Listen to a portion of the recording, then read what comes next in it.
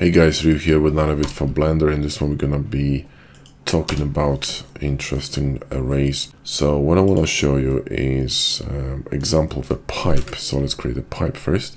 Let's grab a cube and SY scale it like this and then grab this face SY scale it here. We can apply scale with Control A and then grab these two and create a with Control B create a uh, bevel and then select this with Control Q and curve extract and press S1 and you're done. Re remove this, we don't need it. Cool. Now we're gonna Control A and Visual to Mesh and we're going to go to Edit Mode, Control R and add a loop. Now you can see that this loop is actually not straight. It's kind of following either this edge, the angle of this edge, or uh, this loop or this loop press EF and then you can flip it to whichever one you want. I want to align to this one so it's parallel and we're going to drop it somewhere here, Control B to split it, scroll your mouse and then alt click on your macro to create this kind of a situation and then Control R in the middle, Control B to split it, Q and you know EM macro and inside and then add a bevel. Alright guys, so now what we want to do is we want to add some screws here. So uh, asset loader and go to Hardops inserts, for example, which are free. It's a free pack for KitOps. You can get it on Gumroad and click on asset here and drop it here. just scale it. I don't want this one. I want a different one. Not this one. I want this one. There we go.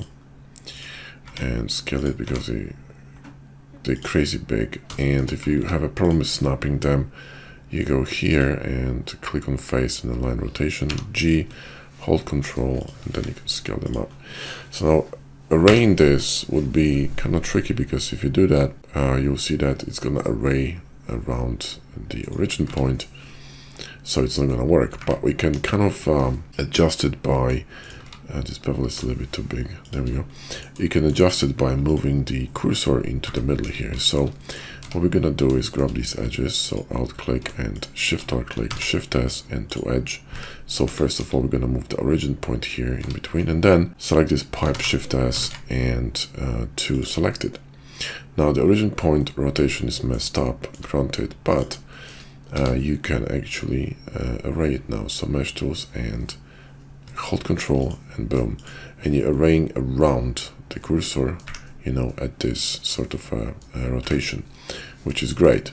Now, if you wanted to um, mirror this, what you need to do is switch here to individual origins and global and simply Alt X and mirror.